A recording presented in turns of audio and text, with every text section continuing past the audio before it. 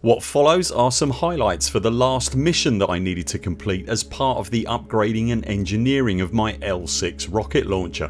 It's a mission to recover an item from a strongbox at an abandoned settlement. Whilst the plan was that the settlement would be empty, upon arrival it became clear that some more unsavoury spicy types had moved in instead and they needed to be dealt with before the mission could be completed successfully.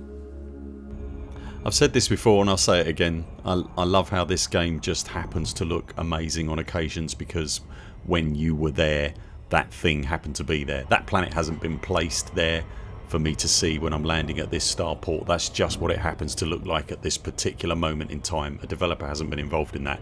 It, it hasn't been hand placed. It just happens. I love how Elite is accidentally gorgeous and jaw dropping on occasions. And it's one of the things that keeps me coming back to this game. So the plan here was just to um, park nearby, um, get out into the SRV and have a little scoot around before finding the thing that we needed to recover. Elite being elite, um, sometimes things don't often go that way, um, as was the case here. So I thought I'd found somewhere I was going to park. And it appears that there are what I like to call some local colour already at the installation. The ship isn't in any danger but it's better to hang back, have a quick look at the situation before deciding what to do. This ship is uh, kind of my second tier sort of BGS ship so it's, it's well equipped for most situations. I've got missiles here that could easily deal with squashy targets at settlements like this but um, it's a lot more fun quite often to get out and shoot them in the face.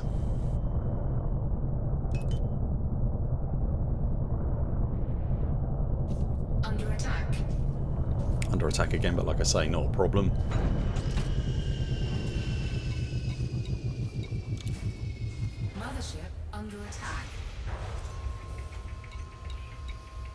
Having launched the SRV, job number one, dismiss the ship.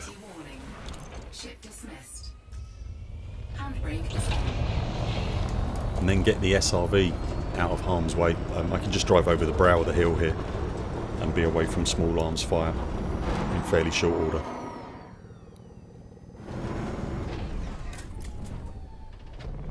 There's a, a beautiful stark um, quality to this uh, this moon. It's in the Asellus Primus system if you want to find it.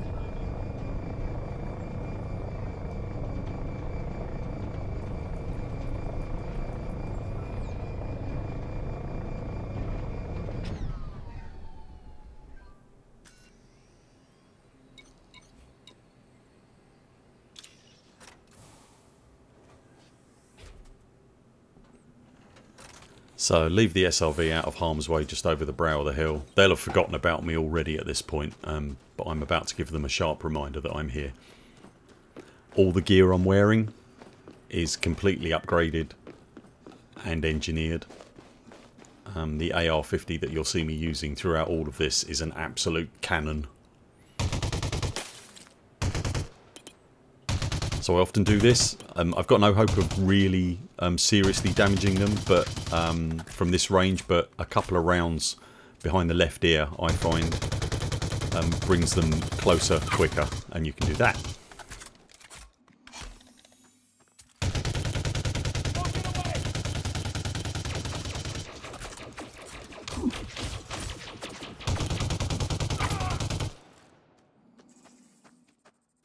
As you can see my shields are not really in any kind of danger from that.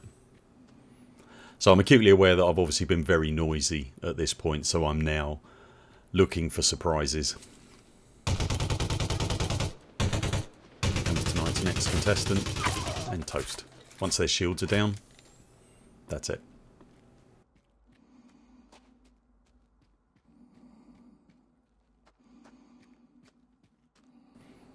you you catch a glimpse of your shadow um, doing this every now and then and you just look so mean and so purposeful.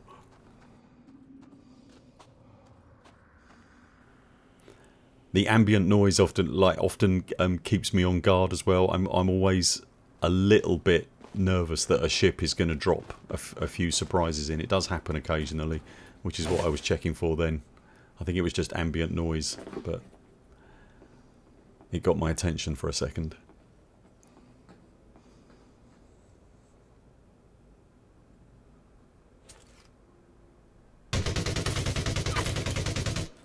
If you catch them in that particular, as in that situation where they haven't got their shields up, they sustained fire from this thing even at long range. They haven't got a hope. So I'll often pop barrels like that just because it, it brings the locals closer. I'm in a nice elevated position here so it's extremely unlikely that I'm going to get attacked from behind.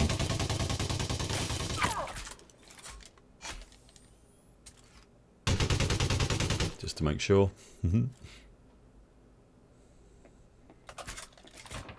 It's nice of them to put their shields on when it's dark like this. It makes them a lot easier to kill. The one thing this Dominator suit hasn't got um, is an awful lot of battery capacity, so I tend to use the uh, the torch.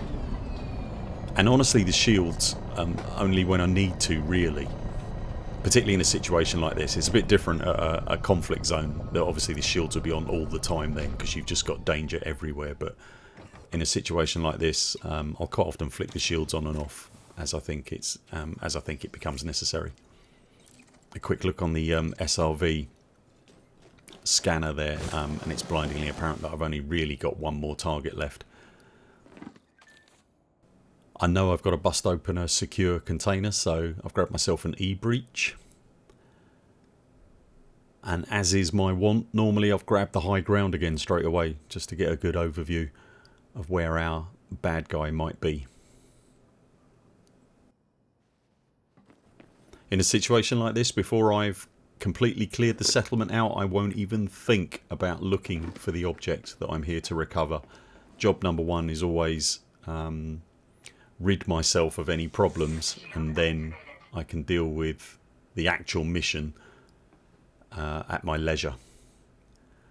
Shields on because I know they're nearby. And because my quarry's location is not immediately apparent, you can see them on the radar there, I decide to deliberately make some noise. Just to bring them out of the shadows really.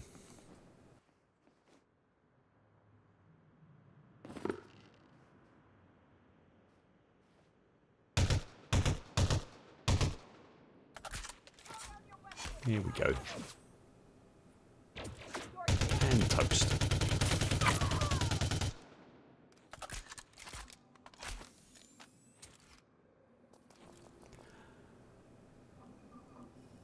So now I'm looking for the thing I'm actually looking for, the actual reason I'm here. So job number one is find myself a terminal. The site's obviously powered down. You don't have to power up the whole site to use a terminal however. There we go. So a quick look at the facility exterior. There's the thing I'm looking for.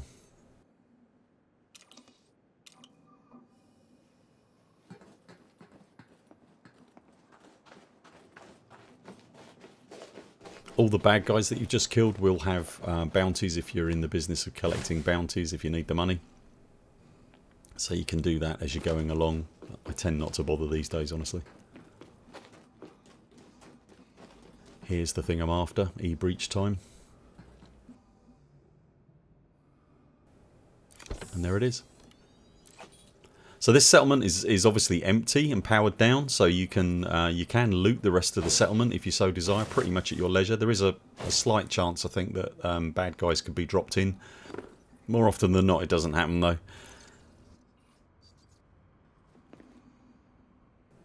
That noise is my ship coming back.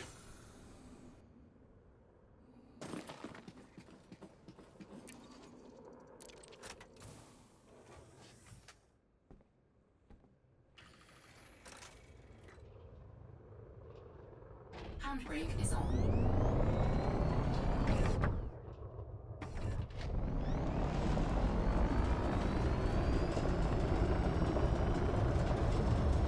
Docking successful. Engines disengaged. I love the Scorpion. Not a fan of the Scarab, I've not made a secret of that, but I absolutely love the Scorpion.